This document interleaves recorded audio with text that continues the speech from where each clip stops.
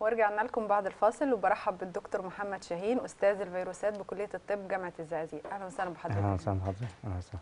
بقينا كتير بنسمع بقى الفترة دي آه، عن كورونا والموجة الثانية الكورونا وبقى في مخاوف عند مش هقول المجتمع العالم كله بقى محور الكلام كله على الكورونا. تمام. فإحنا عايزين نعرف يع- يعني إيه موجة ثانية وإيه أعراضها وإزاي الواحد يعرف إن هو عنده كورونا؟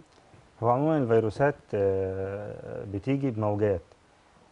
موجة بيبقى لها زي بيك بت- بتزداد الانتشار وبيعلو لحد القمة وبعدين يبتدي يقل تاني. ال- الموجة دي بتبقى دي الموجة الأولانية. بعد كده بتظهر موجة تانية آه، بتبقى أشرس من الموجة الأولانية. لأن وجدوا مثلا زي الإنفلونزا الأسبانية آه، الموجة التانية بتبقى أشرس من الموجة الأولانية لأن الناس بقى فيه نسبة استهتار شوية من ال- الناس. في ناس بتبقى عندها يعني بتاخد مثلا الكورونا الموجة الأولى بتتعدي كورونا تمام تيجي تتعدي مرة ثانية ما هو لأن الاجسام؟ المضادة آه بالظبط لأن آه. الاجسام المضادة آه، اللي بتتكون ضد الفيروس بتعيش حوالي ست شهور أو خمس شهور آه. فبت... فبالتالي ممكن الإنسان اللي اصيب قبل كده معرض برضو ممكن- للإصابة مرة ثانية بس بتبقى أخطر. صح آه لأن هم. وجدوا في فرنسا اللي ابتدت نسبة الإصابة في الشباب وال... والمضاعفات في الشباب أكتر يعني إحنا زمان كنا في الموجة الأولانية بيقولون ال- ال- اللي بيصاب أو الخطر أكتر على ضعاف المناعة وكبار السن. أيوة. دلوقتي أصبح الشباب آه، ابتدى يتعدي أكتر وبقى في في الرعايات المركزة في فرنسا مثلا وإيطاليا ابتدى يبقى في ناس من الشباب كتير.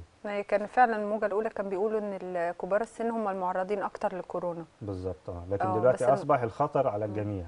يعني هي ملهاش بقى سن محدد ولا ليها. اللي هي سن آه، مثلا كبار ولا كده كله حتى في الأول كان في أعراض معينة مثلا زي ضيق التنفس زي السعال الجاف لكن دلوقتي أصبح ال- الأعراض المعوية بيجي بإسهال يجي في فقد حاسه الشم والتذوق الحاجات دي كانت قليلة زمان آه. عاد في ممكن يجي إسهال ويجي نزلات معوية كده غريبة وبعدين ي- يكشف أو يعمل مسح لل PCR يتلاقي نفسه إيجابي طب وفي ناس مش بيبان عليها طيب أعراض؟ زي مثلا آه، كابتن محمد صلاح ربنا يا رب يشفيه نتمنى له الشفاء نعم. العاجل يا رب.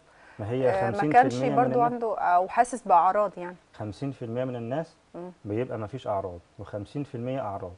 ال 50% الأعراض دولت منهم حوالي 90% أو 85% منهم بيبقى الأعراض بتاعتهم بسيطة ممكن يجي برشح بسيط آه، آه، عطس ضيق تنفس كحة خفيفة آه، درجة حرارة ممكن تبقى 37.2 من عشرة أو 37 ونص اللي هي اللي ممكن ما تبانش خالص. طب إمتى خاف واقول أروح للدكتور؟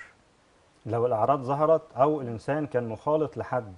يعني أنا ما هو ممكن أنا أبقى مخالطة لواحد عنده كورونا بس أنا ما أعرفش إن عنده كورونا. بالظبط فالواحد ياخد. احتياطه. لكن افرض مثلا أنا حسيت في كحة ناشفة وفي درجة حرارة عالية وفي ضيق في التنفس آه، أو عندي إسهال أو فقد حاسة الشم والتذوق مهم جدا ادام في فقد حاسة الشم والتذوق ديت ما بتحصلش في الإنفلونزا عموما لكن بتبقى موجودة في ال- الكورونا فالواحد يبتدي يقلق ويبتدي آه، ياخد احتياطاته دوت ده شيء آه. أساسي بس أكيد. بيزداد احتياط آه، أخذ في الاحتياطات علشان قريبه وأخوه وأهله ما ما يتصابوش تمام فالأخذ بالاحتياطات سواء تدابير احترازية زي الكمامة زي غسل الايدين زي التباعد الاجتماعي غسل الايدين بالماء والصابون أو بالكحول والتباعد الاجتماعي دي أشياء مهمة جدا المفروض. الإنسان ياخد حذره منها آه، يلتزم بيها وياخد حذره من ال- الانتشار العدوى لأن ال- ال- ال- اللي باقي لنا دلوقتي هو ال- المناعة بتاعتنا.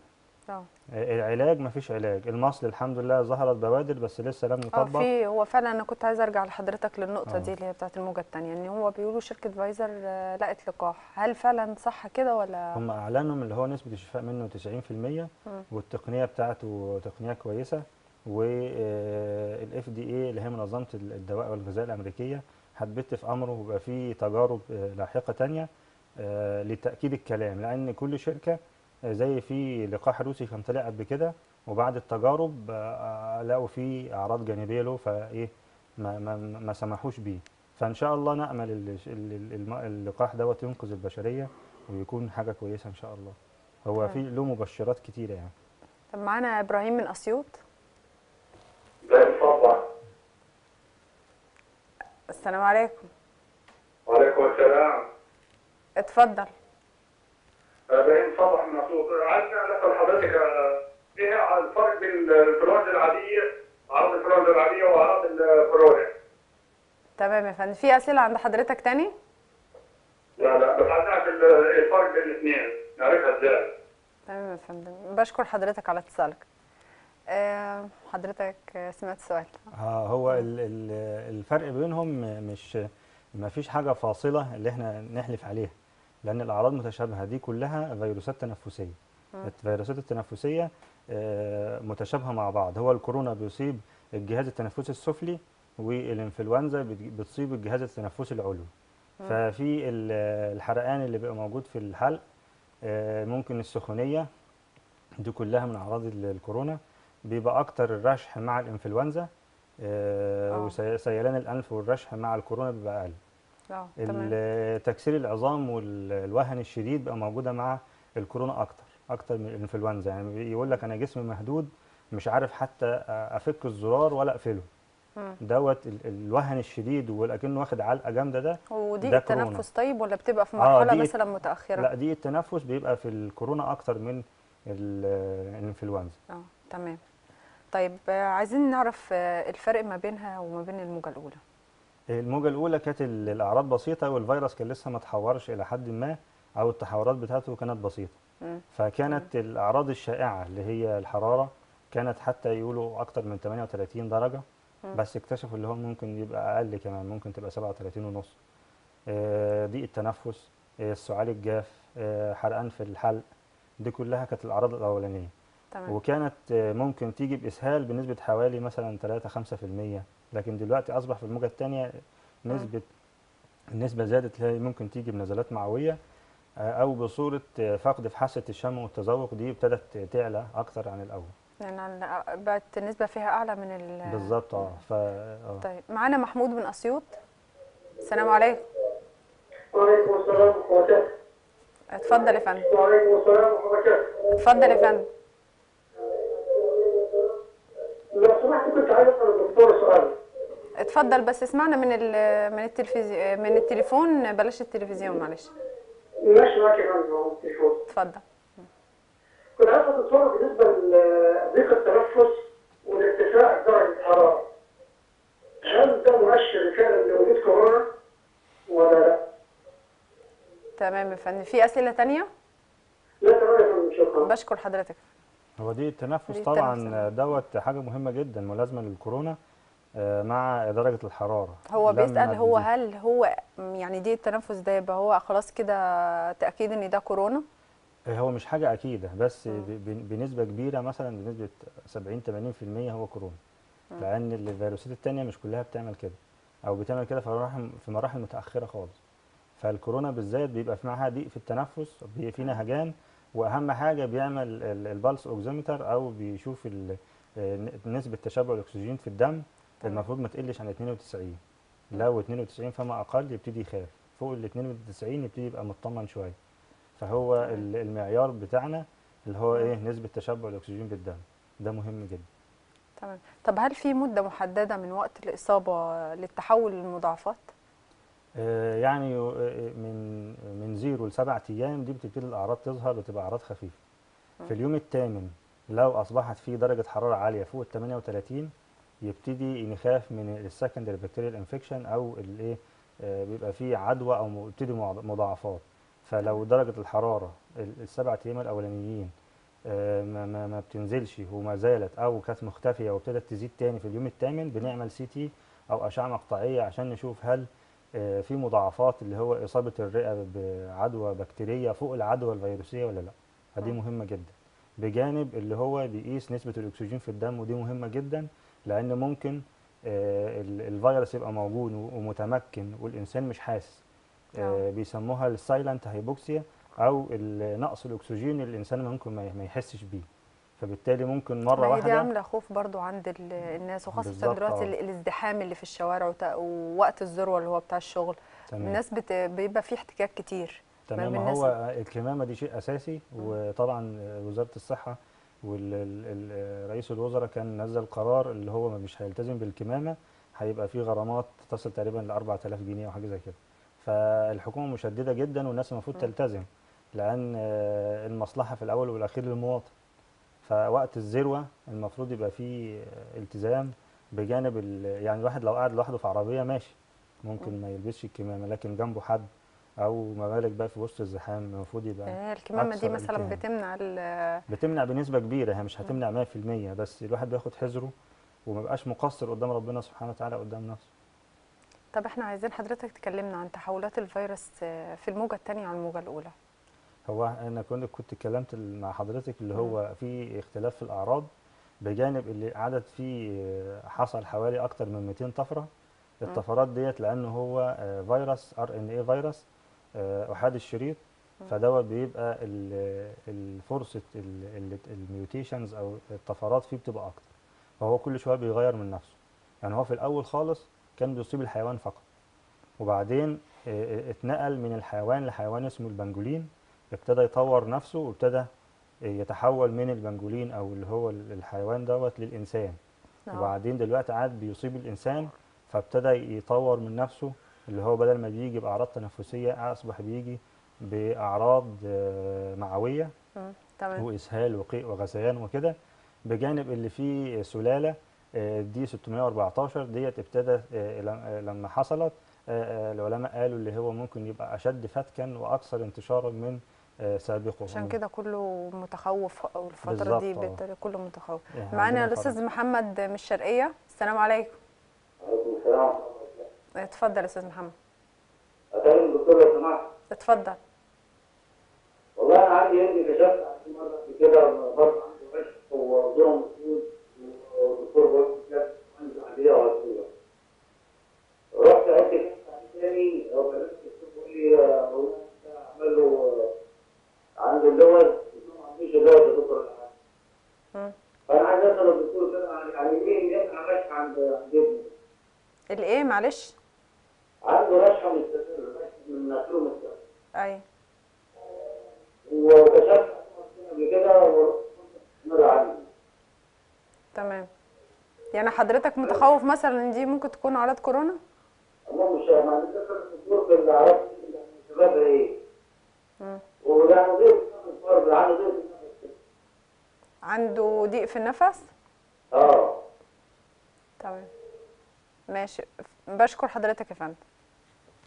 يقول ابنه كشف له عند الدكتور وقال له آه، كان في عنده رشح يعني في في الأنف وكده. تمام.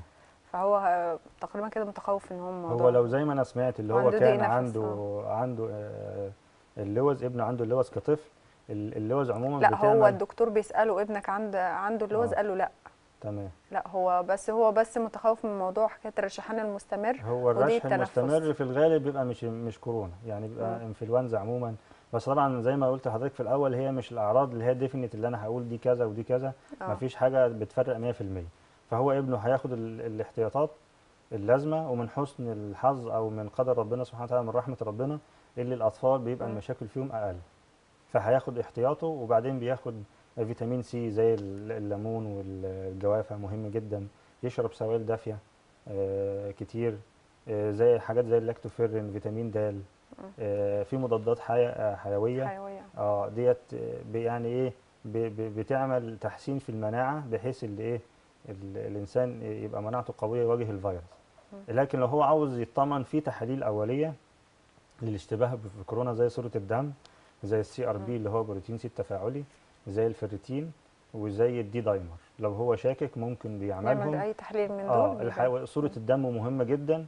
صورة الدم بيبقى كرات الدم البيضاء بتقل خاصة مم. الخلايا الليمفاوية ودي مهمة جدا آه لو أقل من ألف يبتدي يبقى فيه مشكلة آه بالنسبة له. فلازم مع آه مع آه الكشف مع مع الطبيب يكون في تحاليل ب... في والتحاليل وال- بال PC وبالنسبة للحيوانات مثلا القطط والكلاب بت... بتنقل دي بتبقى سبب مثلا نقل عدوى للإنسان؟ هو يعني ما فيش إصابات منها ظهرت لحد دلوقتي الا حاجات نادرة. قالوا من حوالي ست شهور كده اللي فيه كلب أصيب وتلاقوا آه، فيه إصابة. فيعني الحيوانات الأليفة إحنا نمنعها اللي هي تخالط الحيوانات الغير أليفة أو الحيوانات ال- ال- الشرسة اللي هي ال wild animals. نعم. الحيوانات ديت آه، زي الخفافيش والطيور زي الخفافيش. وحيوان زي حيوانات حيوان البنجولين وفي ال- ال- القطط ال- البرية الحاجات ديت ممكن أثبتوا اللي هي فيها فيها الفيروس. آه. فممكن بالتالي أدام طب- هو بتتنقل ما بين طب الحيوانات ولو هي نقلت العدوى؟ ممكن تنقل الح... آه. تنقل العدوى لحيوانات أليفة والحيوانات الأليفة تعدي الإنسان. فده شيء وارد لكن هو م- الحاجات دي نادرة. طب لو عادت الانسان التحولات والمضاعفات بتاعتها بتبقى من الإنسان إزاي بتغير بقى لما تتنقل من فصيل لفصيل زي الإنسان.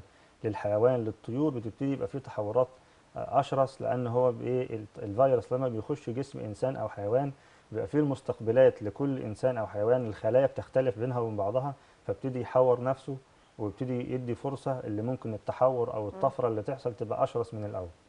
طب ف- إيه الفرق ما بين المضاعفات اللي مثلا لما تتنقل من شخص لشخص وما بين إيه مثلا من حيوان لشخص؟ ال- المضاعفات يعني ملهاش رول أو ملهاش سقف. انت ممكن مم. تتوقع اي حاجة لكن بالنسبة للإنسان يعني هو لما كان بيصيب بيصيب ال- الخفافيش آه، ما كانش ما كانش له دعوة بالبني آدم خالص لكن لما ابتدى يصيب ال- الإنسان ابتدى يبقى عليه أبحاث وشفنا التغيرات اللي بتحصل في الإنسان فقط ما بالك لو تحور مثلا أو دخل جسم حيوان وبعدين الحيوانات فصائل مختلفة آه. فبتبقى ال... وإحنا قلنا اللي هو احاد الشريط اللي هو ماسنجر آر إن إيه ار ان إيه قصدي فبيبقى الطفرات والت- والتغيرات فيه أكتر زي. الطفرة الأخيرة اللي قلنا عليها أصبحت أكتر انتشار من اللي قبلها أكيد في طبعا آه الحيوانات الأليفة طبعا آه كويسة وكل حاجة وفي ناس بتحب تربيها بس الواحد ياخد حذره منها ما يخليهاش هو بقى في تخوف دلوقتي آه، من آه. حكايه تربية الحيوانات خاصة آه. في في المرض ده لكن أصلاً. هو ال- الانتقال من من القطط من الحيوانات الأليفة للإنسان حاجة نادرة بس الواحد ياخد حذره بحيث الطفرات والحاجات دي على بال ما تدرس ويبتدي يبقى لها إثباتات وكده ممكن تاخد وقت. طب إحنا عايزين نذكر المشاهدين معانا اللي بالنسبة للأكل المناسب اللي هو بيقوي المناعة. بالظبط زي ما قلت لحضرتك كده سؤال جميل جدا. اللي ال- إحنا دلوقتي ما لا نملك إلا تقوية المناعة. هي ديت الخط الدفاع ال- المهم جدا لل- للفيروس. إحنا قلنا ما فيش علاج وقلنا اللقاحات في قيد الت- التجربة ولسه ما لم يثبت شيء. فأهم حاجة أنا بالنسبة لي ال- المناعة. تمام. المناعة تقوية ال- الغذاء آه، اللحوم مهمة جدا علشان الأجسام المضادة اللي في جسمنا ديت عبارة عن بروتينات فالبروتينات بتيجي من إيه؟ من اللحوم.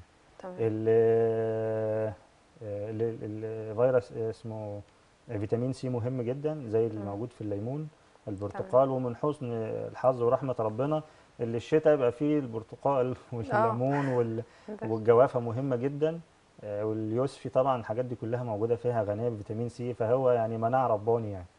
بجانب بقى ال- البعد عن الحاجات اللي ترهق المناعة آه، زي السهر طول الليل الإجهاد المستمر لازم يبقى فيه نوم كافي وراحة كافية. طيب عايزين بس نختم بآخر حاجة النصايح اللي حضرتك ممكن تقدمها للمشاهدين. قوي مناعتك رقم واحد. خذ حذرك بالاحتياطات الاحترازية سواء كانت كمامة أو غسل الإيدين الدوري بالمية والصابون ولو مفيش مية وصابون يبقى في كحول الحاجات ديت مهمة جدا التباعد الاجتماعي آه، صحتك آه، غالية عليك فحافظ عليها بشكر حضرتك يا فندم نورتنا النهارده وسعيدة بلقاء. حضرتك معايا. وبكده نكون تكون نهاية حلقتنا واستنونا إن شاء الله بإذن الله في حلقة جديدة من برنامج ساعة مع جهاد يوم الاثنين الساعة 7 مساء